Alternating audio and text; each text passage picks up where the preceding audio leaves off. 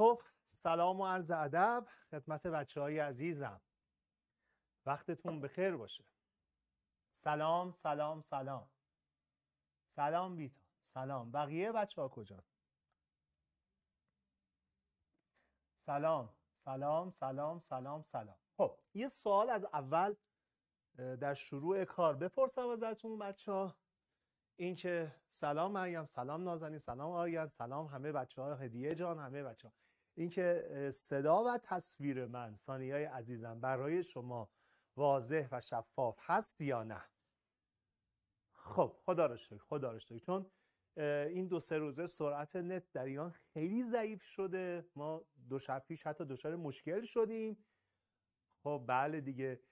دو شب پیش دچار واقعا مشکل شدیم و تصویر تار بود. واقعا نت خیلی ضعیف بود. حالا نمی‌دونم الان خوب هست. انشالله که امروز بتون چون درسه بله. خدا رو شکر طرح صیانت هم تصویب شد. دیگه همه چیز OK بشه. دیگه یه نت ملی هم داشته باشیم که همه چیزمون که OK هست اینم OK بشه. خب خدا رو صد هزار مرتبه شکر. سوال آزمون امروزتون رو تو گروه قرار دادم فکر کنم. سلام علی رضا. سال آزمون هاتون سال اتصال های امروز آزمونتون رو توی گروه قرار دادم بچه ها من تیکه تیکه سوالا رو در کانال جوابش رو به صورت ویدیویی کامل قرار میدم. پس از این جهت نگران نباشید. آزمونتون آزمون خیلی خوبی بود. جوابهاش هم توی کانال می‌بینید. تصویر اگر تار میشه بچه ها تقصیر واقعا من نیستش چون واقعا ما مشکل خاصی ببین ما الان اینجا دوربینمون خیلی حرفه‌ایه و نورم به اندازه کافی اینجا هستش و امیدوارم که این مشکل نت حل بشه. من مشکل از ما بچه نت ما اینجا بچه ها نت استدیو ما نت فیبر نوریه. یعنی بالاترین سرعت رو داره تو فیبر نوری. یعنی از این شب نمی‌دونم ایرانسل و شاتل و نمی‌دونم موبینت و اینجور چیزا نیست. فیبر نوریه. و از اینجا مشکلی نیستش. اما خب ما دو سه شب پیش هم داشتیم دیگه. مشکل از مخابرات سراسریه یعنی نت کلا قطع شده. ما درسمون رو شروع می‌کنیم امیدواریم که مشکلی پیش نیاد. خب.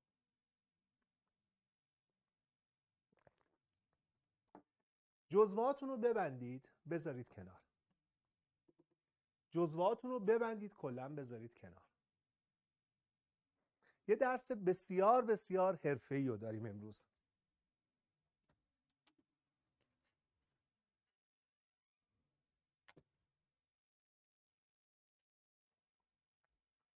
یه درس بسیار بسیار حرفه‌ای که شاید نقطه عطف تمام درس هایی باشه که من قبلا در ریاضیات گفته بودم. امروز یه چیزهایی شما یاد می‌گیرید در مورد ریاضیات تو کاربرد مشتق. یه چیزهایی یاد می‌گیرید که ذهنتون در ریاضیات به بلوغ فکری می‌رسه. عجب! اینا اینطوری بود یعنی به این علت بود. این خیلی کمکتون می‌کنه. درس امروز رو اصلا دست ندید. لینکش هم برای شما میفرستم. اگر شده یکی دو بار دیگه هم این درس رو گوش کنید. پس یه درس بسیار بسیار حرفه‌ایه. خب شروع کنیم. یعنی خوبیش حداقل اینه که می‌تونید درس رو یک بار دیگه گوش کنید. اگر کلاس به صورت حضوری بود این امکان برای شما پیش نمی اومد اما این این خیلی الان این درس چون خیلی مهمیه این امکان هستش که یک بار دیگه درس از اول گوش کنید خب. شروع کنیم بچه جزوه ها بسته. من چند تا نمودار برای شما رسم می‌کنم.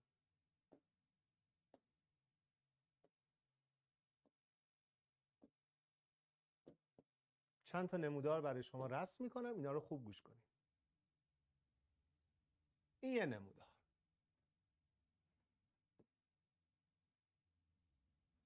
این یه نموداره دیگه. همینطور این. و بیایم توی برگه دیگه.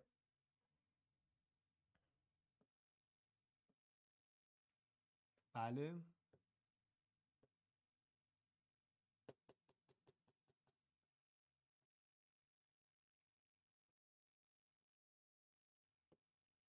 همینطور؟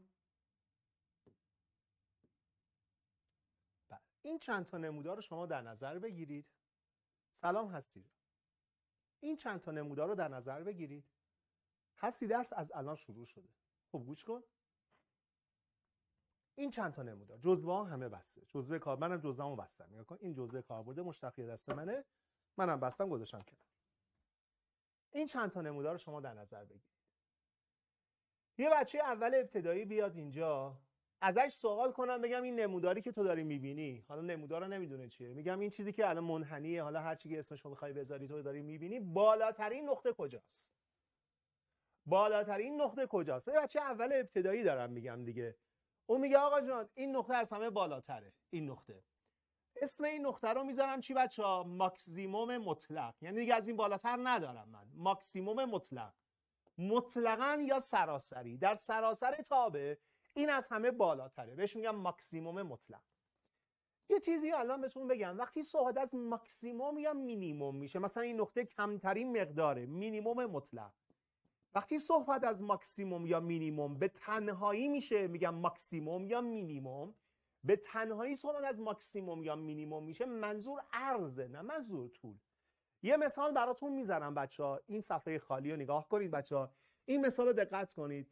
شما شش سال اول ابتدایی سال اول دوم سوم چهارم پنجم و ششم مثلا. شش سال اول ابتدایی نمرات ریاضیتون این بوده. مثلا سال اول نمره شما 17 بوده فرزن سال دوم نمره ریاضی شما میشه 18 سال سوم نمره ریاضی شما مثلا میشه 15 سال چهارم نمره ریاضی شما میشه 20 این نمرات ریاضی شماست در این مثلا چهار سال. خوب گوش کنید. سوال من اینه بچه ها این چهار تا نمره شما ریاضی سال اول 17 شدید سال دوم 18 سال سوم 15 سال چهارم شما 20 شدید. من سوالم اینه اگر از یک دانش آموز بپرسم که بالاترین و بیشترین نمره ریاضی شما بیشترین نمره ریاضی شما چه عددی بوده؟ هیچ موقع نمیگه چهارم ابتدایی. ببین من سوالم رو نگاه کن پسر جان دختر جان. من میگم بیشترین نمره شما چه عددی بوده؟ خب او باید بگه 20 پس وقتی صحبت از ماکسیموم میشه یا مینیموم میشه منظور ارزه بیشترین نقطه بیشترین نمره شما چه چی بوده 20 حالا در چه طولی در چه سالی؟ ببینم در سال چهارم ابتدایی. حالا مینیموم بچه ها خوب گوش کنید. مینیموم. دقت کنید بچه ها مینیموم نمره شما در این چهار سال چه عددی بوده؟ مینیموم. نمیگه سوم ابتدایی. ها اصلا مینیموم نمره شما من نمره بگو. مینیموم نمره شما چه عددی بوده؟ 15 کمتر از 15 نداشتم. پس وقتی صحبت از مینیموم میشه منظور؟ عرضه حالا ببخشید در چه مقطعی بود؟ در چه طولی بود؟ در چه سالی بود؟ در سال سوم ابتدایی. پس عزیز من همین الان دقت کن هرگاه صحبت از ماکسیموم یا مینیموم میشه منظور عرضه نه منظور طول. پس منظور از ماکسیموم یا مینیموم عرضه میگم ماکسیموم فلان منحنی دو است. یعنی نقطه ماکسیموم شما نقطه ماکسیموم شما عرضی به عرض نقطه به عرض دوه نقطه به عرض دوه ماکسیموم دو یعنی بیشترین مقدار یعنی عرض دوه این چیزی که خب شاید خیلی از بچه ها بلد بودن. حالا من خواستم یک بار دیگه تکرار کنم. یه چیز دیگه هم یاد بگیرید. یه لغتی هستش به نام اکسترموم. این اکسترموم بچه ها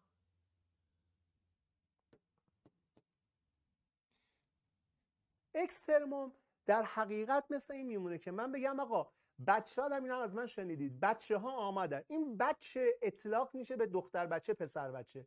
وقتی جنسیت برام مهم نباشه میگم بچه ها خوب گوش کنید. میگم بچه ها اومدن. بچه ها نشستن. توی مهد کودک بچه ها رفتن سر کلاس. بچه ها یعنی دختر بچه پسر بچه. چون جنسیت برام مهم نیست. حرکت برام مهم بود که بچه ها رفتن سر کلاس نشستن. وقتی الان برای من جنس ماکسیموم مینیموم برام مهم نباشه میگم اکسترموم. پس اکسترموم اطلاق میشه هم به ماکسیموم هم به مینیموم. مثل بچه که دختر بچه پسر بچه است. میگم بچه ها اکسترموم فلان منحنی دو است. یعنی عرضه برام مهم بوده. اینکه ماکسیموم بوده یا مینیموم بوده برام مهم نبوده.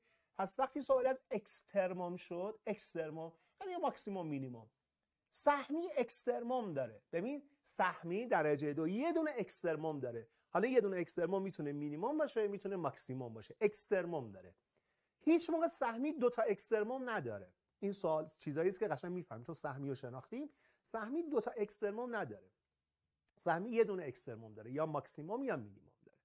پس وقتی برای من جنس ماکسیموم مینیموم مهم نباشه لغت کلی اکسترموم رو به کار می‌برم.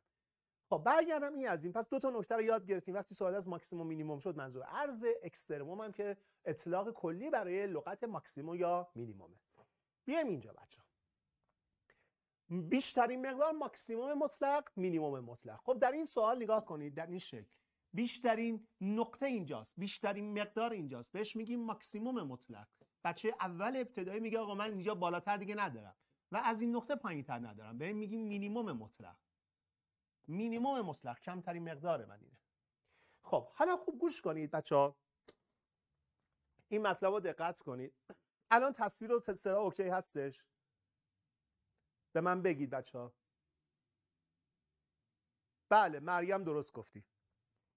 خب حالا شروع کنیم بچه به من انرژی بدید یعنی حضور شما اینجا دیده بشه برای من. هر موقع میگم تصویر خوبه که کسی سوال نداره یه چند تا کلیک دیگه تایپ کنید که من خیالم راحت باشه. خب بچه گوش کنید. دقت کنید. نگاه بالا. یه موقع من بین شما هستم. یه موقع فتحی بین شما هست. یعنی من تو کلاس حضوری قرار گرفتم. الان تصور کنید تو کلاس حضوریمون هستیم. سه شنبه سر کلاس حضوری نشستیم من و شما. سه شنبه سر کلاس حضوری من و شما نشستیم من بین شما هستم. خب وقتی من بین شما هستم من در میان شما هستم من نسبت به شما هستم من نسبت به شما من در قیاس با شما بنده در قیاس با شما بنده نسبت به شما سنم از همه بیشتره. چهار تا دختر این و چهار تا پسر این و وقتی من بین شما هستم خب مشخصه مسنم سن من نسبت به شما بیشتره. سن من نسبت به شما بیشتره. من مسن نسبی هم. من مسن نسبی هستم چون نسبت به شما دارم قیاس میشم. چند تا دختر این و چند تا پسر این و چند تا پسر اون و چند تا دختر این و من نسبت به شما مسنم. من مسن نسبی هستم من مسن نسبی هستم. من سنم از همه بیشتره نسبت به شما بیشتره. آیا در کل ایران یا حتی جهان من می‌تونم ادعا کنم من مسن مطلقم هستم؟ خب نه دیگه. من نسبت به شما مسنم ولی مسن مطلق که نیستم. الان نگاه کنید بچه ها این نقطه رو نگاه کنید این نقطه. نسبت به همسایگی چپش نسبت به همسایگی راستش نسبت به اینا سنش از همه بالاتره بالاتره. این ماکسیمومه. ولی ماکسیموم چی؟ نسبی. نسبت به همسایگی چپ نسبت به همسایگی راستش. البته این نمی‌تونه ادعا کنه مطلقه. چرا؟ چون بیشتر از خودشو داره. آقا تو فقط نسبی هستی. نسبت به چپ نسبت به راست بالاتر هستی. ولی مطلق ابدا نیستی. چون بالاتر از خودتو دارم می‌بینم. اینهاش این بالاتر از توئه. این نقطه چیه؟ این نقطه نسبت به چپش نسبت به راستش. بچه ها در اکسترموم های نسبی یعنی وقتی میگم اکسترموم یعنی برای من ماکسیموم مینیموم مهم نیستش. در اکسترموم های نسبی نسبی نسبت به چپ نسبت به راست نسبت به چپ نسبت به راست. نسبیه برام خیلی مهمه. نسبیه برام خیلی مهمه. نسبت به چپ چیزی که در نسبی الزامی است. یه بار دیگه چیزی همه رو نوشتم. فقط شما گوش کنید. چیزی که در نسبی الزامی است اینی که مقایسه بشه به چپ بین چپ و راست. مقایسه بین چپ و راست صورت بگیره. نسبت به چپ نسبت به راست. من دارم می‌بینم این از همه کمتره. مینیموم نسبیه. ولی نمی‌تونم ادعا کنم که کمترین مقدار تاب است. نه کمترین مقدار خودشو داره. اینجا مینیموم مطلقه. تو فقط نسبی هستی. فتحی هستی که نسبت به چپ و راست قیاس شده. فتحی نسبت به چپ و راست قیاس شده. نسبت به چپ نسبت به راست نسبت به چپ نسبت به راست. حالا خوب گوش کنید. نگاه بالا. من نسبت به شما مسنم تو کلاس سه شنبه سر کلاس من می‌تونم ادعا کنم نسبت به شما مسنم ولی مسن مطلق نیستن در ایران. در ایران مسن مطلق نیستن. ها تصور کنید الان کی مسن مطلقه در جهان؟ مثلا آیه جنتی بیاد. آفرین. آیه جنتی بیاد تو کلاس روز سهشنبه آیه جنتی کلاس روز سهشنبه میاد. میسه میگه دختر خانوما پسرا. من نسبت به شما مسنم. یه لحظه تصور کنید یه لحظه خواهش می‌کنم. آیه جنتی سر کلاس روز سهشنبه بیاد بگه دختر پسرا. دختر پسر اول حجابتون رعایت کن. من نسبت به شما مسنم. راست میگه دیگه. خب نسبت به شما مسنه های جنتی نسبت به شما مسن نیست. خب هستش. راست میگه. ولی بچه ها دقت کنید. های جنتی میگه من مسن مطلقم هستم. علاوه بر اینکه نسبت به شما مسنم در کل کهکشان مسنترینم. مسنترینم. پس مطلقم هستم. پس مطلقم هستم. برگردیم اینجا. تو ماکسیموم مطلقی. بالاتر از این دیگه نداری. این بالاتر از این نداری ولی بچه ها نسبت به چپ نسبت به راست. نسبت به چپ نسبت به راست. از همه بالاتره. پس نسبی هم هست. البته مطلق هم هست. جنتیه. آیا جنتی؟ آیا جنتیه بچه اومده بین کلاس. میگه آقا من نسبت به چپ نسبت به راست بالا پس نسبی هم. خب البته مطلق هم هستم چون بالاتر از من نیست. بچه این چقدر قشنگ؟ این نقطه چیه بچه این نقطه. مطلق بله کمتر از این ما نداریم. نسبت به چپ نسبت به راست کمترینه. نسبت به چپ نسبت پس نسبی هم هست.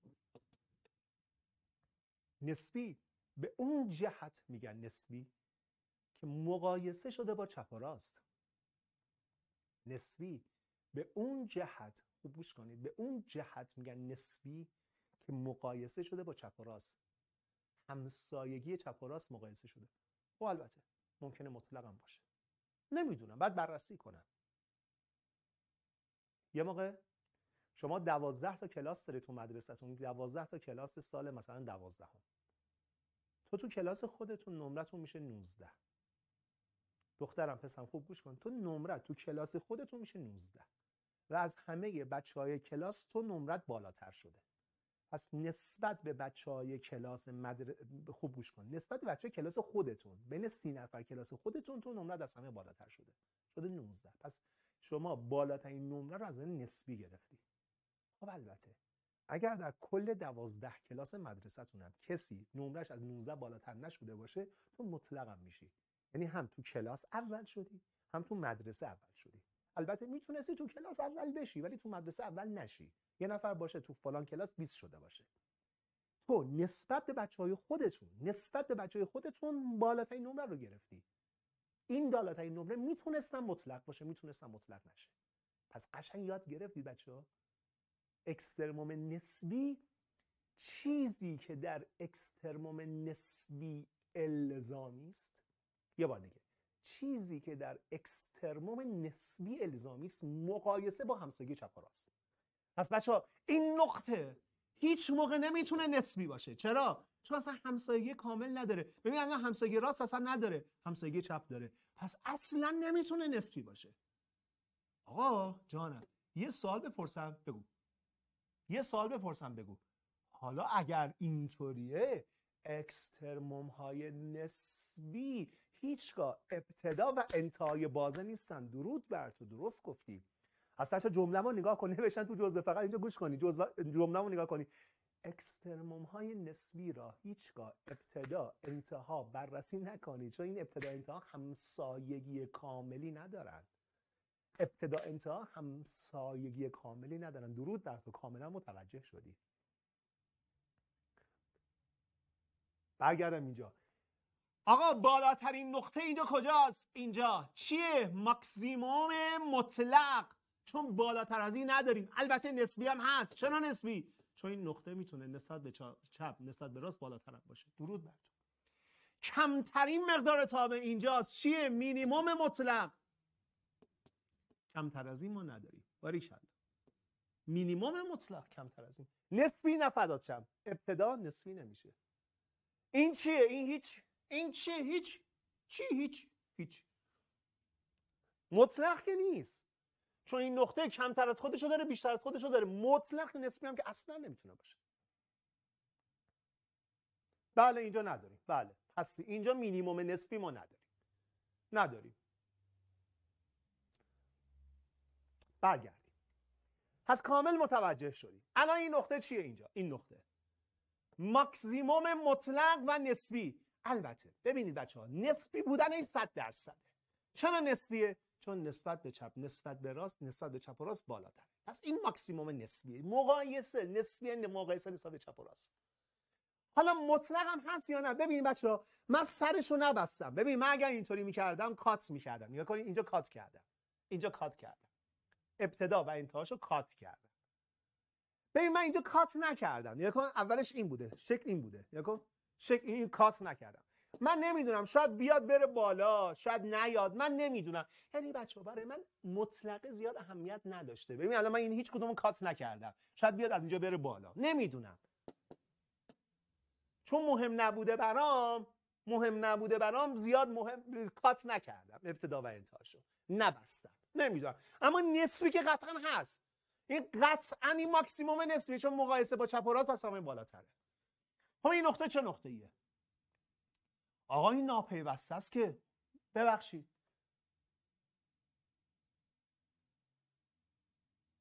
آره آره آره هستی جان. پس این نسبی قطعا نسبیه ولی مطلقش رو من نمی‌تونم چون من کل نمودار رو که نه نکردم. ببین من در اینجا کات کردم یعنی کل نمودار اینه. اما چون کات نکردم برام مهم نبوده اصلا مهم نبوده در موردش فکر کنم. اما قطعا نسبی هستش. آقای فتحی جانم این نقطه چیه؟ آقا ناپیوسته است که ببینید بچه ها چه ربطی داره. آیا خوب گوش کنید. آیا من اصلا صحبت از پیوستگی و ناپیوستگی کردم. نه فدات شم. بچه ها من چیزی که صحبت می‌کنم در مورد نسبی چیزی که الزام آوره یعنی صد درصد باید در مورد نسبی لحاظ بشه داشتن همسایگی چپ و راسته. یه ریزه بیشتر یه ریزه کمتر. اصلا این باید مهم باشه. اصلا صحبت از پیوستگی نکنم اصلا پیوسته هم نباشه. به من چه ربطی داره؟ الان این نقطه رو نگاه کنید. نسبت به چپ بالاست. الان این نسبت به چپ بالاست نسبت به راست بالاست. پس این حتما ماکسیموم نسبیه. چون مقایسه بشه با چپ و راست بالا قرار گرفت آقا ماکسیموم نسبیه. مطلقا که گفتم من کامل نمودار رو رسم نکردم. این چیه؟ این چیه؟ این چه نقطه ایه؟ این چه نقطه ایه؟ الان سر کلاس سه شنبه رو در نظر بگیرید. من سر کلاس شما حضور دارم. میگم بچه ها آفرین محمد رضا. میگم بچه ها کی از همه مسن تره میگید آقا خودتون. پس من مسن نسبی هم نسبت به شما بله. میگم کی از همه سنش کمتره؟ میگم مثلا مریم. چند سالش؟ 17 سال. خب بچه ها او و من مقایسه شدیم. خوب گوش کنید. الان نگاه کنید. مرسی مریم. فقط اینا یه لحظه گوش کنید. حالا یه نفر سر کلاس 20 سالشه. خب 20 سالشه. خب چیکارش کنم؟ هیچی نیست. می‌دونی چرا؟ چون کمتر از سن خودشو داره بیشتر از سن خودشو داره. وقتی من بهتون میگم بیشترین نمره شما چه عددی بوده؟ خب گوش کنید. بیشترین نمره شما میگید 20 میگم کمترین نمره شما چه عددی بوده؟ میگید 15 خب شما نمره 16 هم داشتید ولی هیچی حساب نمیاد چرا؟ نه کمترین نه, بیشترین. برگردیم اینجا. حالا شما من عطفا نمی‌دونم اصلا فقط در مورد ماکسیموم مینیمم صحبت می‌کنم. این نقطه چه نقطه ایه نکن. از چپش بیشتره از راستش کمتره. هیچی. از چپ بیشتر از راست کمتر. هیچ هیچ هیچ هیچ هیچ این نقطه چه نقطه ایه این نقطه ای که نشون دادم. این نقطه چه نقطه ایه خب بازم هیچی. چون از چپش کمتر از راستش بیشتر. الان نگاه کن ارز کمتر ارز بیشتر. ببین پس هیچی. این نقطه نگاه کنید از همسایه راست از همسایه چپش کمتره از همسایه راستش بیشتره. پس هیچی هیچ هیچ. حالا برگردیم اینجا. آیا فتحی جانم این همه در مورد اینا صحبت کردید. خوب گوش کنید. در مورد عطف فعلا کاری نداریم چون اصلا درس ما الان این نیست. فقط گوش کنید. این همه صحبت کردید گلم علی رضا جان جانم. صحبت کردید چه ربطی به مشتق داره؟ خب اینکه بیشترین کمترینه که بچه ابتدایی هم خودتون گفتید می‌تونه تشخیص بده دیگه. یا کدوم بالاتر کدوم پایینتر. حالا نسبی که نسبت به همسایه چپ و راست. چه ربطی داره به مشتق حالا خوب گوش کنید. مشتق چی بود؟ مشتق یک کارخونه ای بود. اینجا رو گوش کنید. لذت اینجاست. مشتق کارخونه ای بود. که به تو شیپ می‌داد. طول می‌دادی بهت شیپ می‌داد. x مساوی c طول می‌دادی بهت شیپ می‌داد.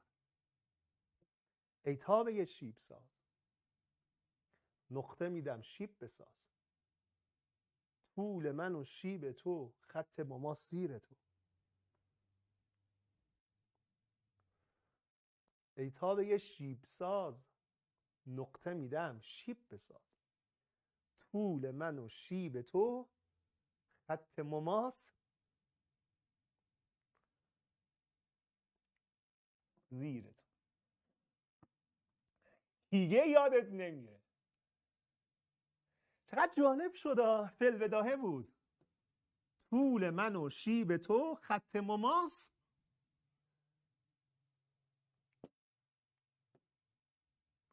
خب. بله صحبت از شیبه من می‌خوام نقاط اکسترموم نسبی رو چون نسبی برام مهمه. بدم به تابع شیبساز. X مساوی c اکسترموم نسبیت نقاط اکسترموم نسبی رو می‌خوام بدم به تابع شیبساز. می‌خوام ببینم چی به من میده. دیگه دیگه درس شروع شد. اکسترموم های نسبی می‌خوام بدم به تابع شیبساز. می‌خوام ببینم به من چی میده. اکسترموم نسبی. جانم شیبت صفر. شیبت صفر. این شیب صفر افقیه دیگه. شیبت صفر. شیبت صفر. شیبت صفر. میگه آقا شیب در اون نقاط اکسترموم نسبی صفره. صفر صفر صفر. شیب در اکسترموم نسبی صفره. آقا ببخشید اینم اکسترموم نسبیه ها. ما یه لحظه دقت کنم. آقا این الان شیبش اصلا موجود نیست. چرا؟ نقطه زاویه داره. مشتق ناپذیره. راست میگی. ماکسیموم نسبی. بچه ها قدر مطلق یادتونه دیگه. الان شاخص ترین قدر مطلق دیگه. قدر مطلق x. قدر مطلق x. این نقطه مینیموم دیگه. البته نسبی و مطلق. چون دیگه کمتر از این نداریم. شیبش موجود نیست. مینیمومه. خب شیبش موجود نیست. خب چرا زاویه داره؟ مشتق راست و چپش من برابر نیست. الان شیب در اینجا چیه؟ اصلا موجود نیست. چرا؟ چون اصلا ناپیوسته است. الان ناپیوسته است. بالاخره ماکسیمومه. تو ماکسیموم نسبی از روی همسایه چپ و راست تشخیص دادی که بالاتره یا پایینتره. وجود همسایگی الزامی است. ناپیوسته است که ناپیوسته است. پس مشتق ناپذیره. این هم که اصلا اکسترموم نبودن. پس بچه ها یه حالتی هم داریم. یه حالتی هم داریم که مشتق در نقاط اکسترموم موجود نباشه.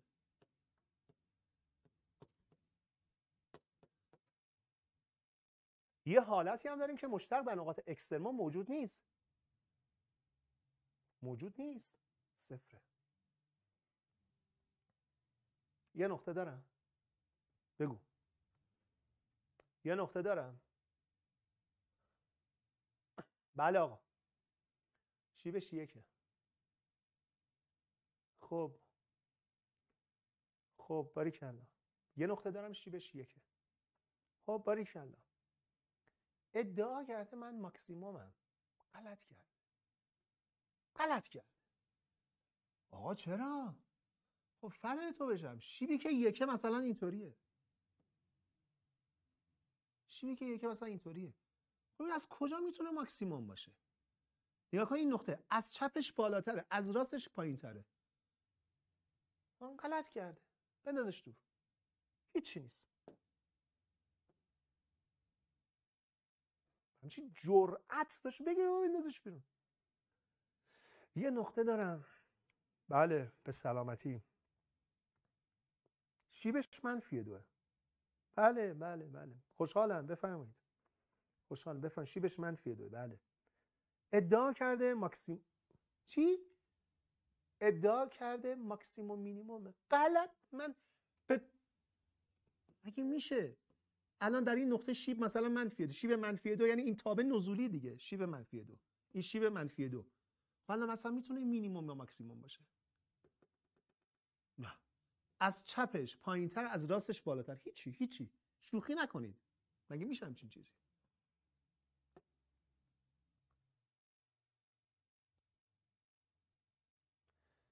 آقای فتحی جانم.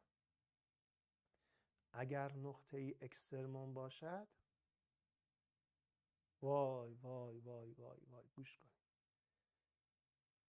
بچه ها گوش کنید گوش کنید. همه سوالاتون رو الان فقط فقط گوش کنید. الان سوال نپرسید چون همه سوالا رو می‌خوام جواب بدم. الان دارم می‌بینم. الان یه لحظه سوال نپرسید فقط گوش کنید و لذت ببر اگر نقطه ای اکسترمون باشد با چشم دیدم اکسترمونه اگر نقطه ای ماکسیموم مینیموم باشد یا شیبش صفر است یا شیبش صفر است یا موجود نیست مثل اینا موجود نیست. بچه دقیقا مثل x2 خب شیبش صفره. یا قدر مطلق شیبش موجود نیست. آره. آره. اگر ماکسیموم نسبی یا مینیموم اکسترموم دیگه. اگر اکسترموم نسبی باشد یا شیبش صفر است یا موجود نیست. بله.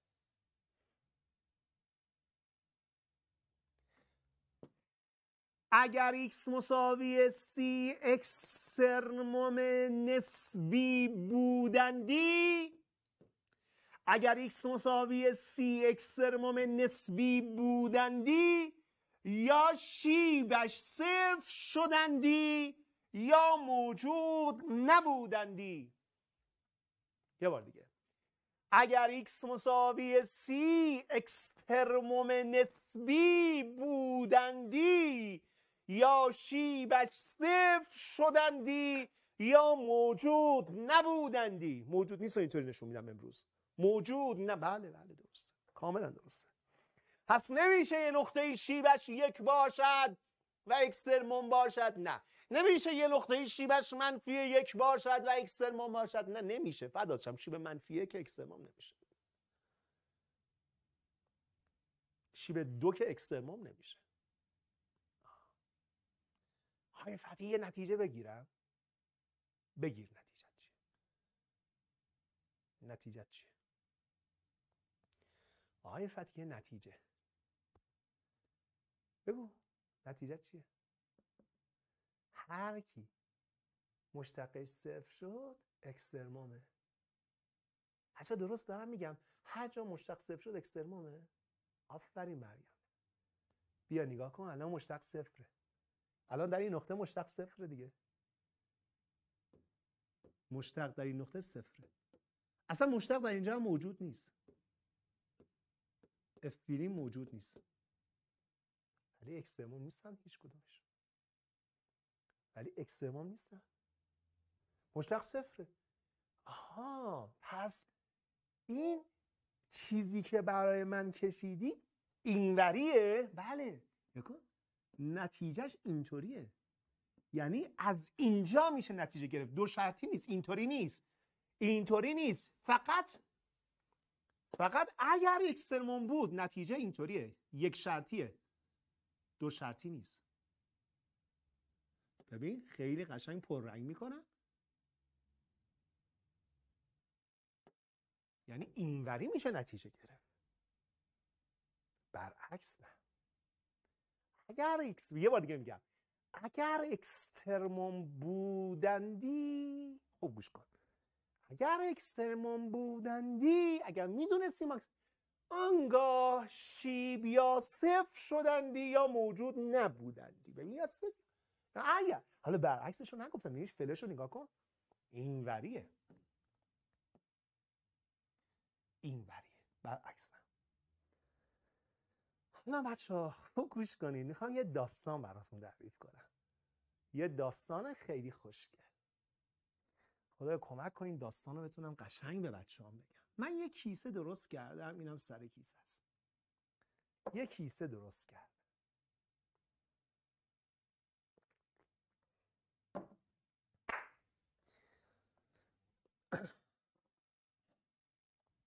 یه کیسه درست کردم. یه نقطه داره میاد. از دامنه تابه.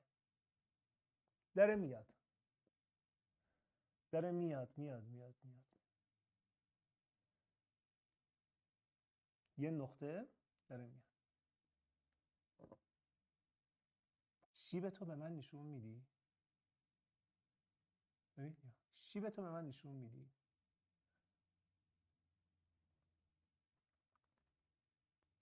یه لحظه شیب تو ببینم ببینم. می‌خوام ببینم شیب تو. شیبش شده یک. شیبش شیبش شده یک. برو به دستک. برو ببینم. من یه تیبا می‌زنم بره بیرون. برو ببینم. یه نقطه دیگه داره میاد. یه لحظه بیا کارت دارم. یه نقطه از دامنه تابه بیا بیا بیا بیا. ببخشید من یه لحظه می‌خوام شیبتو ببینم. یه لحظه در بیا چیز ببخشید یه لحظه شیبتو می‌خوام ببینم. یه لحظه شیبتو می‌خوام ببینم. می‌خوام ببینم. شیبش رو نگاه کردم دیدم شیبش صفره. دیدم شیبش صفره. بیا کارت دارم بیا کارت دارم بیا کارت دارم. اووردم اووردم انداختمش تو کیسه. چرا؟ چون شیبش صفر بود. انداختمش تو کیسه. برو. یکی دیگه میاد میاد میاد میاد میاد. خوب گوش کنید لذت ببرید. یکی داره میاد نمودار تابست دیگه. یه نقطه داره میاد میاد میاد میاد میاد. شیب تو به من نشون میدی یه لحظه. می‌خوام ببینم. دوست دارم ببینم شیب تو. در میاره شیبش می‌بینم منفی دوه. شیب منفی دو بچه شیب منفی دوه. شیب میگم برو ما به چه دردم می‌خوری شیب منفی دو به چه درده؟ برو گم شده میندازمش بیرون. شیب منفی دو خندهدار نیست شیبش منفی دو برو گم شد یکی دیگه میاد میاد میاد میاد. یه لحظه شیب تو ببینم. یه لحظه. می‌خوام ببینم. شیبش رو نگاه می‌کنم ببینم شیبش موجود نیست. مثل قدر مطلق ایست ببینم شیبش مو... بیا عزیزم بیا بیا بیا بیا بیا. برو تو کیسه. چرا؟ چون شیب در اون نقطه موجود نیست. خب. بیا بیا بیا. بردمش کردمش تو کیسه. در کیسه محکم بستم. جوونا من کیا رو می‌برم تو کیسه؟ جوونا این همه نقطند رو دامنه تاب. این همه نقطند من فقط دو جنس نقطه رو می‌برم تو کیسه. جنس اول کسایی هستم که وقتی نگامون به شیبش میفته می‌بینیم که شیبش صفره. میکنیمش تو کیسه. گروه دوم وقتی نگاهمون به شیبش میفته می‌بینیم شیبش موجود نیست. اینا رو می‌بریم تو کیسه. اونی که شیبش دوه خب بره. به درد من نمی‌خوره. اسم این کیسه رو اسم این کیسه رو می‌ذارم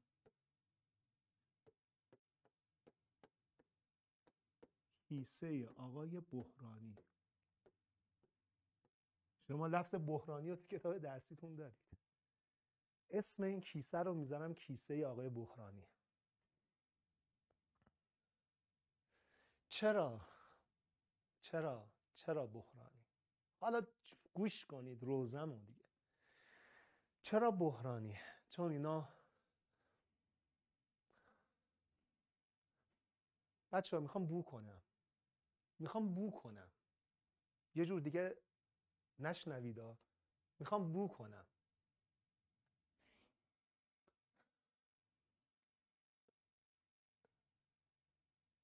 اینا بوی اینا بوی اکسترموم میدن. اینا بوی اکسترموم میدن. البته ممکنه اکسترموم باشند. ممکنه اکسترموم بگو. نباشند ولی بوی آقا رو میدن. چی ببخشید؟ بوی اکسترموم میدن.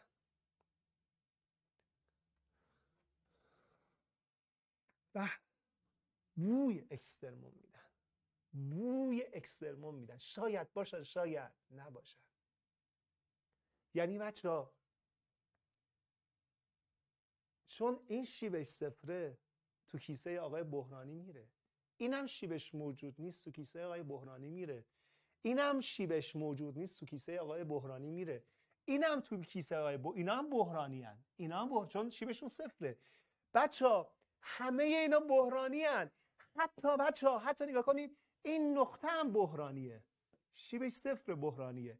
این هم شیبش صفره. اینم بحرانیه. اینم بحرانیه.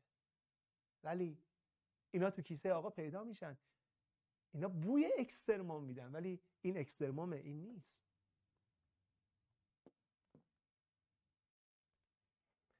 برای چی کیسه آقای بحرانی ها برای چی کیسه آقای بحرانی ها شکل دادید؟ برای چی؟ آخه بابا یه جمعیتی اومده بود. یه جمعیتی اومده بود. هر کدوم ادعا می‌کردم من اکسترمو من گفتم بیشین بینیم بابا. اول در بیارید شیباتون رو ببینم بعدن اول ببینید شیباتون چیه؟ یکی شیبش دوه یکی ده یکی منفی. ول بابا. ول کن بابا همه رو ریختم بیرون دو جنس. دو جنس کنم بچه؟ هر کی شیبش صفره یا شیبش موجود نیست بیار تو کیسه آقا. جوانا امشب می‌خوایم کیسه آقاتون رو پر کنیم. امشب می‌خوایم کیسه آقا رو پر کنیم. امشب شب پر کردن کیسه آقا مونه آقا به کیا نیاز داره؟ آقا به کیا نیاز آقا به کسایی نیاز داره که شیبشون یا صفر باشن یا موجود. بگو. نباشه ما همچین آقایی داریم. امشب می‌خوایم کیسه آقا رو پر کنیم. سوال می‌پرسم شما این درسته یا نه؟ سوالی که من می‌پرسم سه چهار بار در کنکور سراسری اومده. سوالی که می‌پرسم. همه نقاط خوب گوش کنید. همه نقاط بحرانی اکسترما من درسته یا نه؟ آفرین. آفرین. حالا برو دیویس بار از کتاب بخون ببینید اما بچه این سوال همه اکسترموما بحرانی هن؟ کاملا درسته. بالاخره اگر تو کیسه آقا هر نقطه ای که صفر شد ممکنه اکسترموم نباشه. ممکنه باشه. چی بهش صفر شد؟ منظورمه. ولی تو کیسه آقا اکسترموم پیدا میشه. چون بقیه همه رو ریختم دور. همه همه ادعا کرده بودم من اکسترموم گفتم بشین ببینیم بابا. خوب گوش کنیم. چقدر قشنگ. چقدر قشنگ. حالا بچه ها جزوتون رو باز کنید. جزوتون رو باز کنید. سوال 19 رو بیارید. سوال 19 جزوتون رو باز کنید. سوال 19 رو بیارید.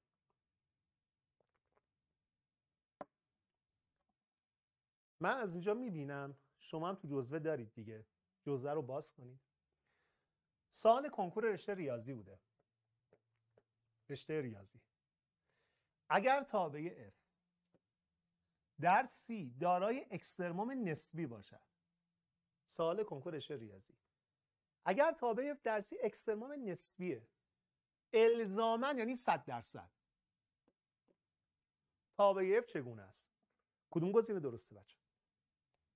آفرین آفرین آفرین. الزاما یعنی 100 درصد. یعنی مشتق در نقطه سی باید صفر باشه. نه آقا. من بهتون گفتم دیگه بیا. این اکسترموم نسبی مثل قدر مطلق. مثلا مشتق موجود نیست. آفرین. در سی پیوسته است؟ نه. حتی من گفتم ممکنه اصلا پیوستم نباشه. مثلا صحبت از پیوستگی نکردی. اکسترموم نسبی در سی مشتق پذیر؟ نه مثلا در همسایه سی تعریف شده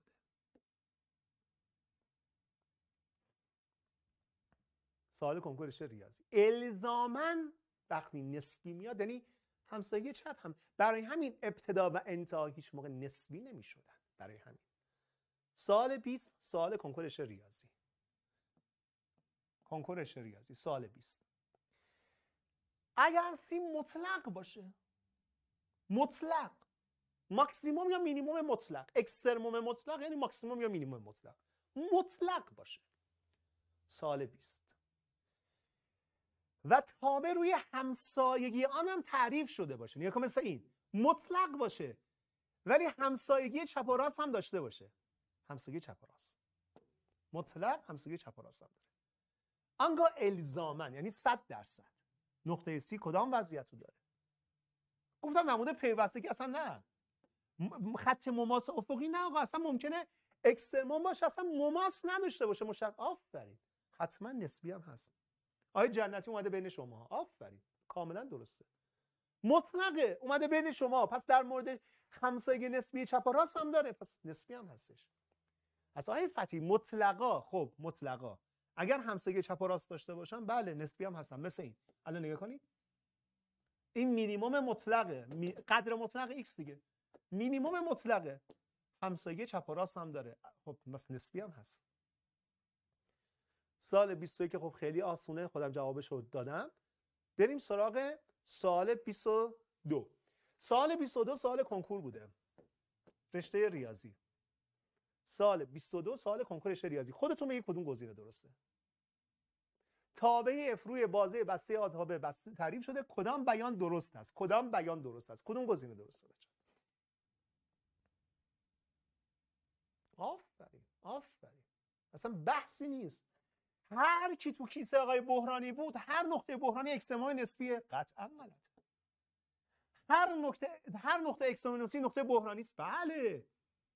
هر نقطه اکسمای نسبی قطعا بحرانیه. چون بالاخره یه شیبه صفر یا موجود نیست قطعا بحرانیه. در هر نقطه در هر نقطه بحرانی مشتق صفره. کی گفته همچین چیزی در هر نقطه بحرانی مشتق صفر کی گفته؟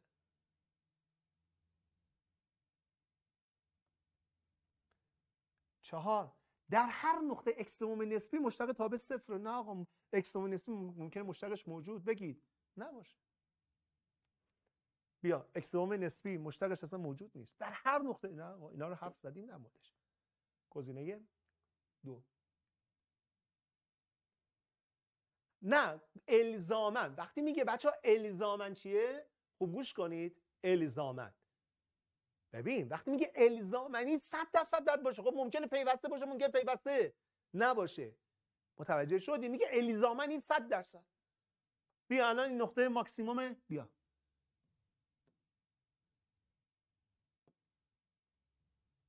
این نقطه نگاه کنید.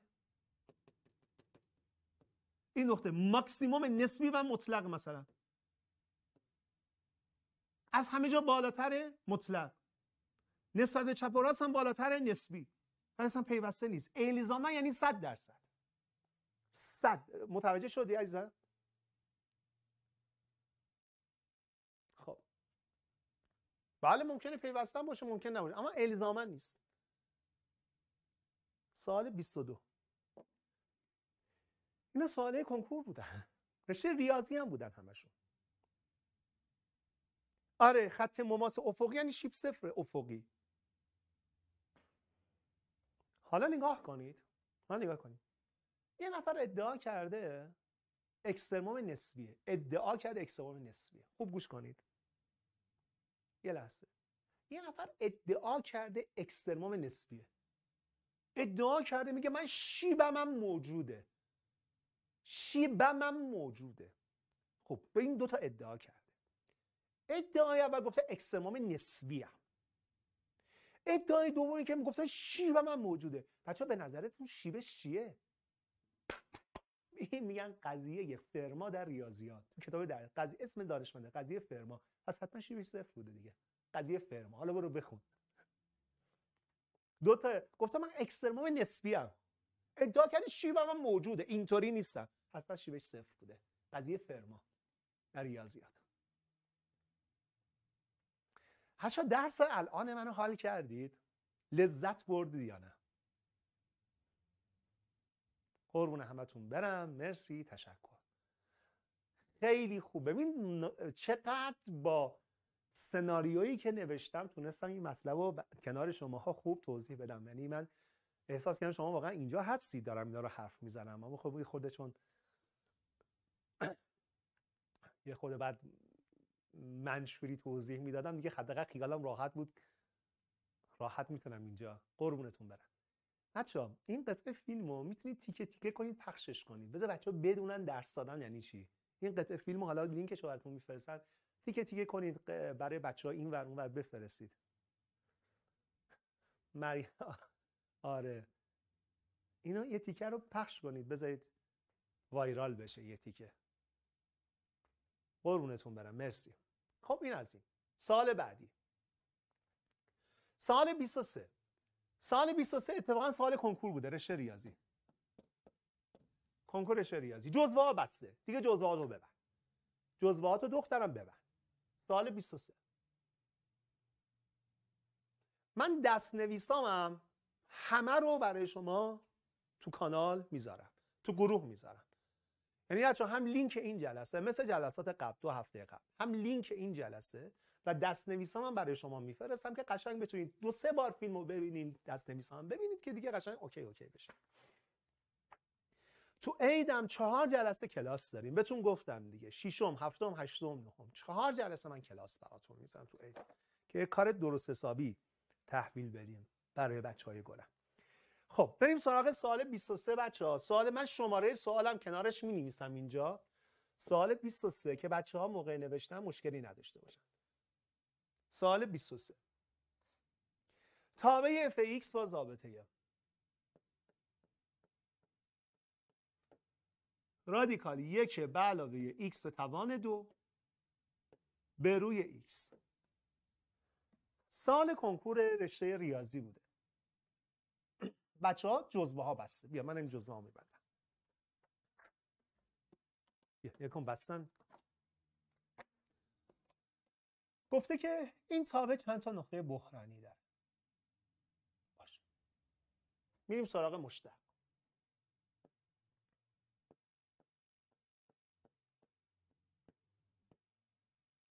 مشتق صورت در مخرج مشتق مخرج در صورت مخرج به توان دو مشتق صورت میشه دو x به روی دو رادیکال یک به علاوه x2 این میشه مشتق صورت. در مخرج خب. منهای. مشتق مخرج یک در صورت.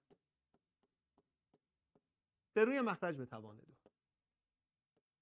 ساده می نویسیم x دو با دو که میره اینکه خیلی راحته.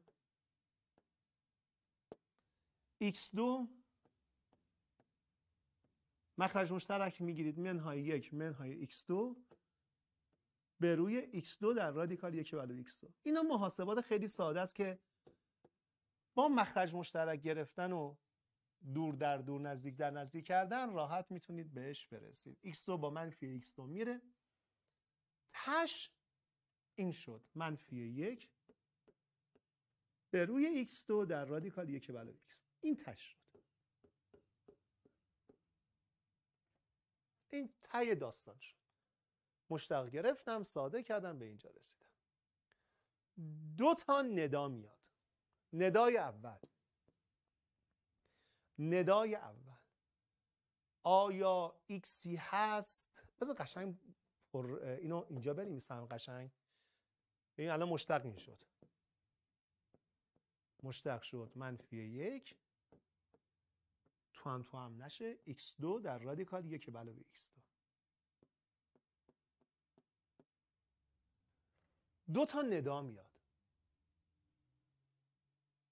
الان قشنگ گوش کنید علی رضا هستی؟ جانم مریم. کوش کجا؟ آه. دو تا ندا میاد. ندای اول. آیا ایکسی هست که مشتق را صفر کند؟ این ندای اول. مشتق مساوی صفر قرار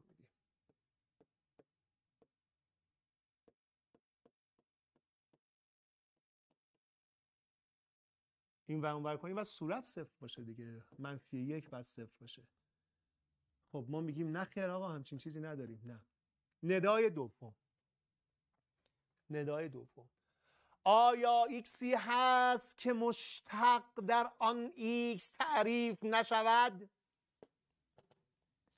بچه وقتی مشتق تعریف نمیشه که مخرج بشه صفر. وقتی مشتق تعریف مخرج بشه صفر. مخرج مساوی صفر قرار میدیم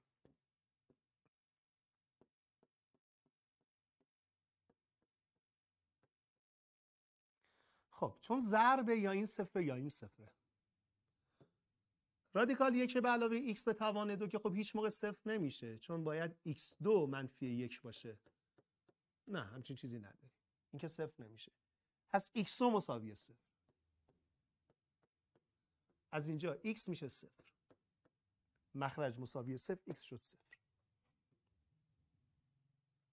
بله دیگه مشتق الان در صفر تعریف نشده است. صفر رو بذاریم اینجا صفر رو بذاریم مشتق در صفر تعریف نشده است. بعدش میاد بره تو کیسه آقای بحرانی. میاد بخواد بره تو کیسه های بحرانی. یه سیبیل کلفت اینجاست. جلوشون می‌گیره. میگه نیا. یا آقا چی نیام؟ چی نیام؟ مگه من در صفر مشتق تعریف نشده است؟ از برم تو کیسه آقا دیگه. ما قصد تو موجودیت برای چی؟ بچه صفر اصلا جز دامنه تابه نیست. تابه اصلا صفر رو نمی‌گیره. اصلا صفر جز دا... بابا اول ثابت کن. ثابت کن جزء دامنه تابع هستی بعدا ادعا کن که بحرانی هست. اصلا جزء دامنه تابع نیستی نگاه کن. تو اصلا جزء دامنه تابع اف نیستی. چی کاریت کنم؟ مثل این میمونه بچه ما بیایم در مورد تابع رادیکال ایکس در مورد رادیکال ایکس که نمودارش اینطوریه. بیایم صحبت کنیم منفی دو بحرانیه یا نه؟ اصلا منفی دو جز دامنه. نه خاله تو بگو بحرانیه آخه بابا عزیز من نقطه من جز دامنه. تابع باشه در مورد ماکسیموم مینیمومش بحث کنی وقتی اصلا نقطه جز دامنش نیست چی می‌خوای بحث کنی؟ خنده داره. اصلا نقطه صفر جز دامه اصلا تابع برای صفر عرض نمیده. صفر رو بدیم اصلا ارزی نمیده. آقا تو می‌خوای ببینی بحرانیه؟ پس بحرانی نداره. دو تا فحشه اینجا. فحش اول من میدم. فحش دوم تو بده. فحش اول اینه. فحش اول اینه. ای بی بحرانی! ای بی بحرانی! فحش دوم تو بده. ببینم چی می نویسی فوش دومو.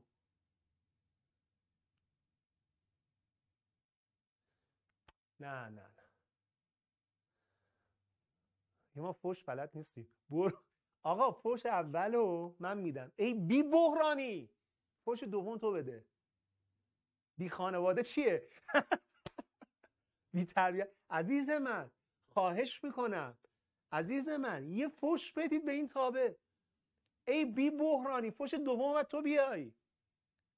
اگه کسی گفت فوش دوم چیه؟ ای بی بحرانی تر چیه؟ نه بابا. نه بابا بی بحرانی تر چیه؟ آفرین! آتنا درست دارم میگم من اینجا؟ آتوسا دارم میگم؟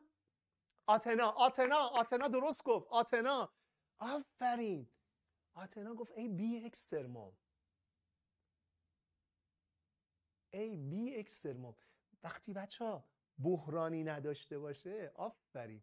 وقتی تو کیسه آقای بحرانی کسی نره تو کیسه آقای بحرانی خب وقتی میگن ای بی بحرانی خب حتما دیگه اکسترموم هم نداره دیگه. آفرین آتنا. هست فوش دوم ای بی اکسترموم مادر بی اکسترموم این از سوال شماره چی بچه ها 23 امیدوارم که یاد گرفته باشید. بریم سراغ سوال 24 سوال 24 سوال 24 سوال کنکور بوده. تابع fx با ضابطه. X2 منهای 28 در ریشه سوم x.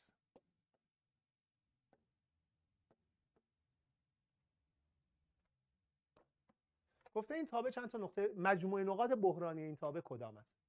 سوال شماره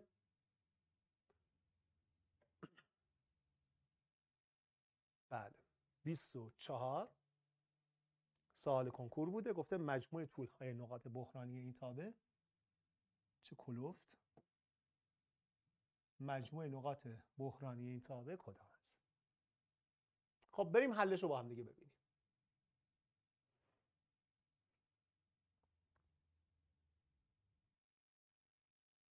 حلش. میریم سراغ مشتق. مشتق اولی در دومی دومی در اولی. مشتق اولی دو x در ریشه سوم x به علاوه مشتق میشه یک به روی سه تا. ریشه سوم x به توان دو در اولی. اولی در دومی دومی در اولی. مشتق گرفت بعدش یه مخرج مشترک می‌گیرن از سه تا ریشه سوم ایکس مخرج مشترک می‌گیرن سخت نیست. دو سه تا شیش تا. x این در این ضرب بشه. ریشه سوم x ریشه سوم x2 میشه ریشه سوم x یعنی x که در x ضرب بشه میشه x2 دارم مخرج مشترک می‌گیرم. به علاوه x2 منهای 28 مخنس کلام. مشتق این شد. تش مشتق این شد. 7x2 منهای 28 به روی 7x2 منهای 28 سه تا ریشه سوم x2 مشتق گرفتم دو تا ندا. ندای اول. آیا ایکسی هست که مشتق را صفر کند؟ آیا ایکسی هست؟ وقتی بخواد مشتق بشه صفر بعد صورتش بشه صفر دیگه. یعنی من مساوی صفر قرار بدم صورت بعد صفر بشه. مساوی صفر قرار بدم. 7 x2 میشه 28 x2 میشه 4 x میشه مثبت منفی 2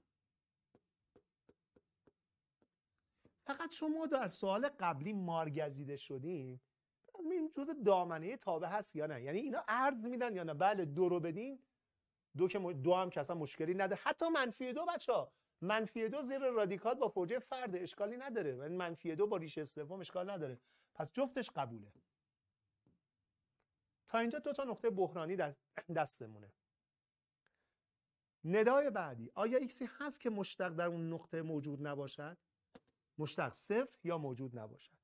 این دفعه مخرج باید صفر باشه. سه تا ریشه سوم x به توان دو مساوی صفر. که خب از این معادله فقط جواب x مساوی صفر پذیرفته میشه. اما بازم حواستمون باشه ما مارگزیده شدیم در سوال قبلی. اصلا صفر جز دامنه هست یعنی تابع برای صفر. عرض داره یا نداره. تابع من صفر رو بدیم خب اینجا صفر بدیم مشکلی نداره. اینجا هم صفر بدیم اشکالی نداره چون صفر بدیم بله ریشه سوم صفر صفر میشه. اصلا هیچ مشکلی نداره. پس خیالمون راحت جز دامنه تابع هست. اینم سوم سومی نقطه بحرانی. پس بچه سه تا نقطه بحرانی داشتیم. صفر دو منفی دو.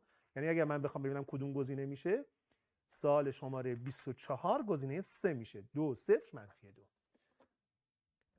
پس این تابعی که سه تا نقطه بحرانی داره این تابعی که سه تا دونه نقطه بحرانی داره دیگه نمی‌تونه چهار تا ماکسیموم داشته باشه.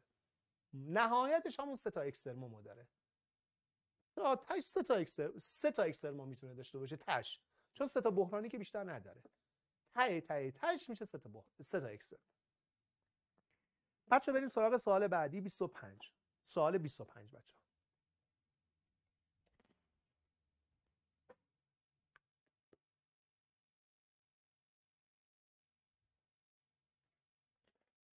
سال 25 سال 25 هم سال کنکور بوده.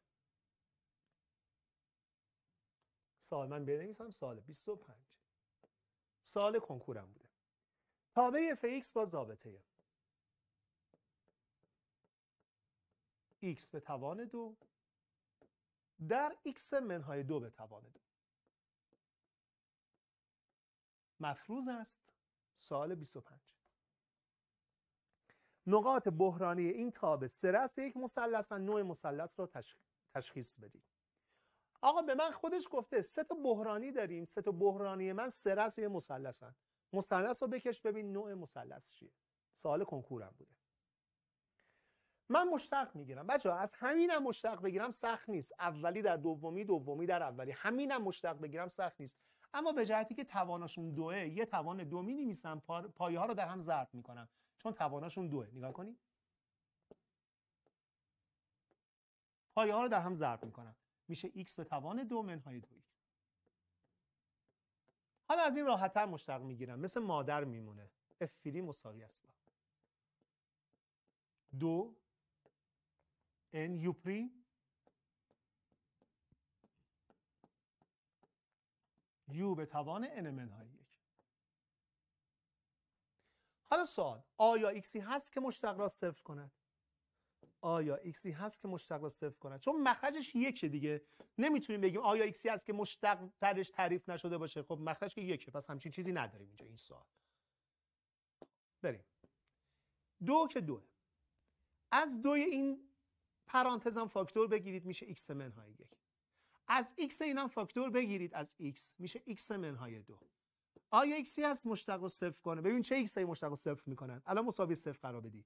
یکی یکه. یکی صفره یکی دوه سه تا نقطه هستن که مشتق صفر می‌کنن. نگاه کنید. یکی یک یکی ریشش صفر یکی هم دو. عرض این نقاط هم به دست بیارید. چون سه تا نقطه دیگه. عرض می‌خوای بله. تابع عرض ساز. جانم تابع عرض ساز. من سی یک میدم به من عرض بده. این یا این فرقی نمی‌کنه. یک منهای دو. منفی یک به توان دو میشه یک. صفر میدم. یا اینجا یا اینجا. پس صفر بدید میشه صفر. دو بدیم. دو به توان دو چهار. دو دو تا چهار تا میشه صفر. این هم سه تا نقطه بحرانی. A, B, C میگه رسمش کن. رسمش کن. چشم. رسمش کنم ببینم چه مثلثی رو تشکیل میده. نقاط. یک و یک. یک و یک.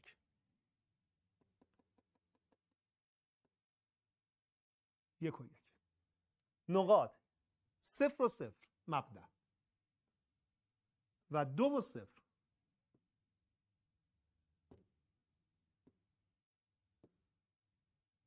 نقاط. این مثلث بله جنسش چیه؟ ببین بچه ها این یکه از اینجا تا اینجا یکه. از اینجا تا اینجا هم یکه. نکن یک یک. پس این میشه رادیکال دو. بیساغورس برم این یکه این هم یکه نکن این یک از دو تا یک یک این هم یک. این هم میشه رادیکال دو. پس جنس مثلث دو تا ساق برابر داره پس متساوی و ساقینه. ولی بچه ها به نوع این زاویه چند درجه است؟ 45 درجه. چرا؟ مثل مثلث قائم الزاویه میمونه دیگه بچه ها. این یک اینم یک این یک اینم یک پس میشه 45 درجه. خب به همین دلیل اینم 45 درجه است. خب یه 45 درجه این و یه 45 درجه این ور میشه قائم الزاویه سخت نبود دیگه دو تا 45 درجه؟ بله میشه قائم الزاویه یه بار دیگه بگم این چرا 45 درجه شد نگاه کنید. این چرا 45 درجه شد؟ الان این یکه. اینم یکه. درسته؟ این یک اینم یک. پس بچه ها مثلث قائم مزاوی هستش. پس این و اینم با هم برابره. پس این زاویه میشه 45 درجه. اینم 45 درجه. به همین ترتیب اینم 45 درجه است. جمع دو تا 45 درجه کنار هم میشه 90 خیلی ساده. ساده. بریم سراغ بچه ها سوال بعدی. این سوال حلش کنم یه استراحت می‌کنیم. سوال شماره 22 رو 26 رو حلش کنم میریم یه استراحت می‌کنیم. سوال شماره 26 سوال کنکور رشته ریاضی بوده. تابع اف ایکس با ضابطه.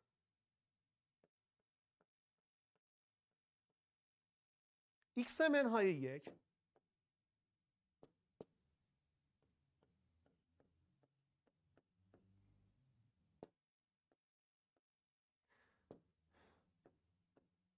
قدر مطلق. این سوال خیلی مهمه. X2 به علاوه x منهای دو.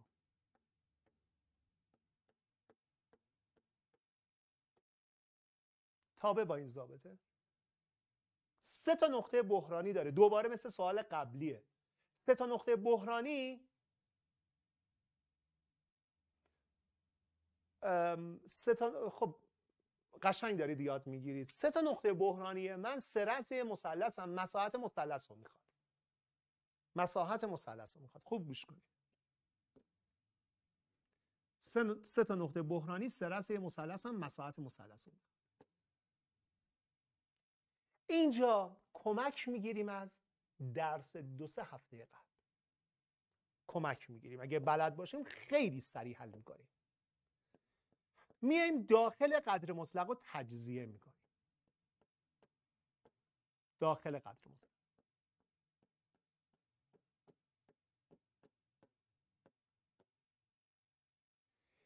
ای آقا نکاتی یادم اومد. باری کلا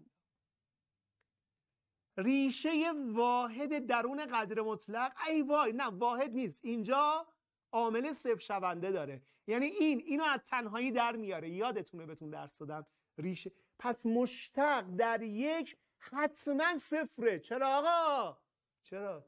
ریشه واحد عامل. اصلا این سوالو داشتید شما توی بحث مشتق پذیری. ریشه واحد ولی اینجا هم واحده. یک و یک میشه دو. یا به صورت عامل صفر شونده بنویسید. مشتق پس بچه اگه اینطوری باشه یک چون مشتق در شده صفر. چون در, مش... در یک مشتق شده صفر حتما بحرانیه. حالا یک چه ارزی میده؟ یک. منها یک میشه صفر. پس اولین نقطه بحرانی ذهنی به دست اومد. ذهنی. آفرین. اولین نقطه بحرانی ذهنی به دست اومد. عامل صفر شونده می‌تونی بگیری. ریشه واحد با عامل صفر شونده. همه اینا رو گفتم قبلا. اما بچه ها یه دونه دیگه هم هستش. درسته ریشش واحده اما اینجا دیگه عامل صفر شونده نداره. مشتق در منفی دو. البته می‌تونیم بگیم موجود نیست بچه ها چرا؟ چون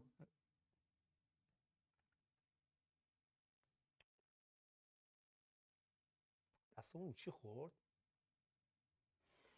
یک دفعه.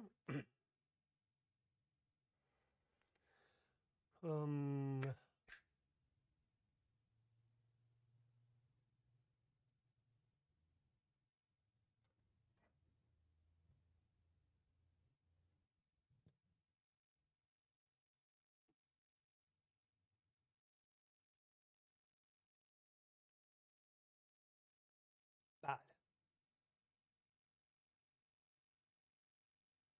بریم بچه مشتق در منفی دو موجود نیست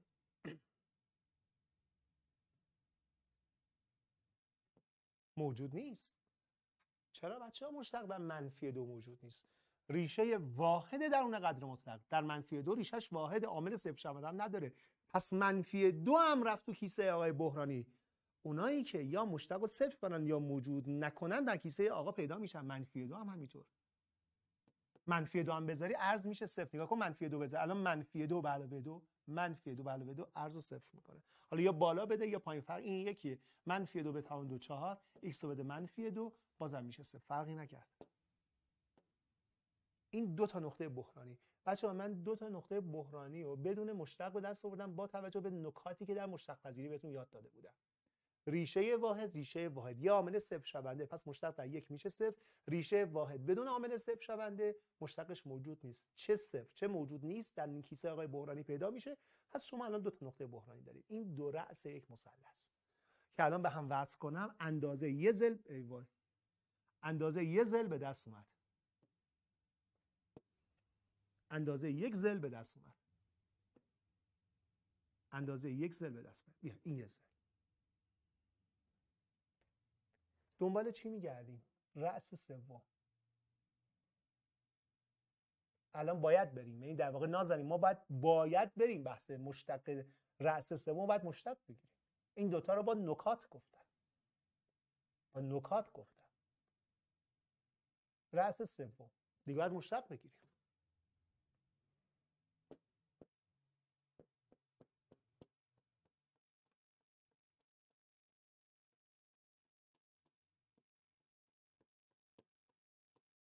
باید مشتق بگیریم من دو حالت رو در نظر می‌گیرم بچه. بالاخره داخل قدر مطلق من یا مثبت یا منفی. مثبت بود که برش میدارم منفی بود برش میدارم یه منفی می‌ذارم. این دو حالت. یا داخل قدر مطلق مثبت یا منفی دو حالت گفتم. مثبت بود برش میدارم مثبت منفی بود منفی می‌ذارم.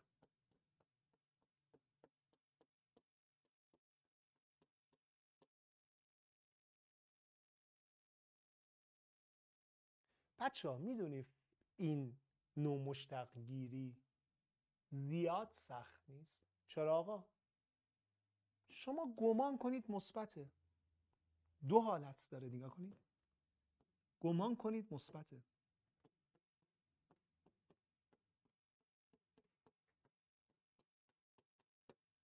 حالا اگر داخل قدر مطلق منفی بود چی؟ یه منفی میذاشتم برش میداشتم دیگه. آقا بعد یه بار از این مشتق بگیریم یه بار از این. نه نه نه نه بچه ها اصلا این کارو نکنید. فرق مشتق این و مشتق من هنوز مشتق نگرفتم. هنوز تاب است. مثبت منفی. مثبت. فرق بین این دوتا اینه. اگر مشتق این بشه یو مثلا این میشه منفی یو. یه بار دیگه نگاه کن. یه بار دیگه. مشتق این بشه یو یو. مشتق این میشه منفی یو. پس از این مشت... و خوب گوش کنید مشتق این شده یو. مشتق این میشه منفی یو پس چون می‌خوای مساوی صفر قرار بدید در چه نقاط مشتق صفر؟ این منفی هم تاثیر بگید نداره. تو گمان کن مشتق اینو گرفتی شده یو خب مشتق این میشه منفی یو آیا ایکسی هست مشتق رو صفر کنه؟ خب این منفی تاثیر نداره. چقدر راحت شد. پس بچه از همین مشتق بگی. نیازی به این نیست. نیازی تو تست دارم میگم. نیازی نیست. مشتق بگی. اولی در دومی دومی در اولی. مشتق اولی. مادر. علاوه مشتق این. یک.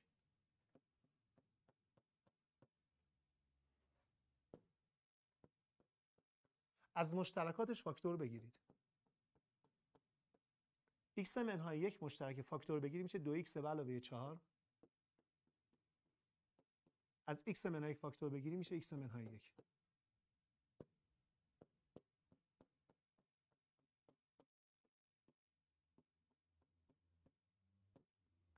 به x علاوه 3 آیا x هست مشتق را صفر کند؟ خب یا این صفره؟ که میشه یک. اینا قبلا به دست آورده بودیم. یا الان در یک مشتق صفر نگاه کنید. اما اینو با نکته به دست آورده بودیم. آیا ایکسی هست مشتق رو صفر کند؟ بله.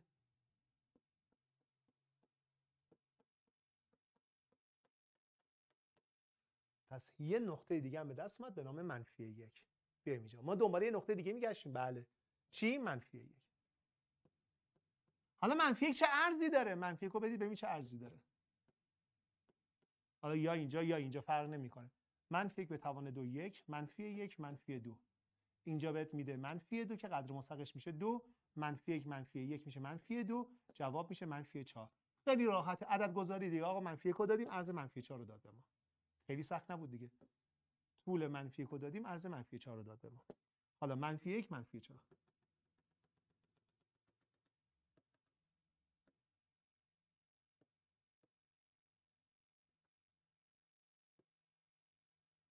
طول منفی یک.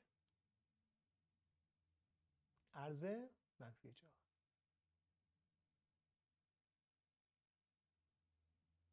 حالا گفته مساحت این مثلث چیه؟ مساحت این مثلث چیه؟ مساحت مثلث میشه ارتفاع. ارتفاعش چهار واحده. قاعدش هم سه واحد. تقسیم بر دو میشه 6 بچه ها در مورد اون نکته که گفتید اگر من نمی‌دونستم که از بچه سوال کرد منفی دو رو چگونه به دست می آوردی شما یه مقدار سخت می‌شد. چرا؟ چون شما بعد اینجا مشتق گرفتید مشتق گرفتید. مشتق راست مشتق چپ در منفی دو. یعنی از اینم مشتق می‌گرفتید فقط منفی دیگه. می‌گفتید جناب مشتق راست منفی دو چی میشه؟ جناب مشتق چپ منفی دو چی میشه؟ یعنی من مشتق اینو می‌گرفتم مشتق اینو می‌گرفتم راست و چپ منفی دو رو میذاشتم. یکی مثلا می‌شد 5 یکی می‌شد منفی 5 این قرینه است دیگه. یکی می‌شد 5 یکی می‌شد منفی 5 مثلا اون موقع گفتیم خب مشتق در منفی دو هم موجود نیستش. خیلی سخت می‌شد یعنی زمان می‌برد. ولی ما با توجه به نکاتی که بلد بودیم در مشتق پذیری تونستیم مثلا منفی دو بگیم یه نقطه بحرانیه چون اصلا مشتق موجود نیست ریشه واحد داخل قطر مطلق بدون عامل صفر شود. این از این بچه عرض کردم ما خیلی راحت می‌تونستیم با این نکات بگیم. خب. سال 26 هم حل شد. برید یه استراحت کنید. الان ببینیم ساعت چنده بچه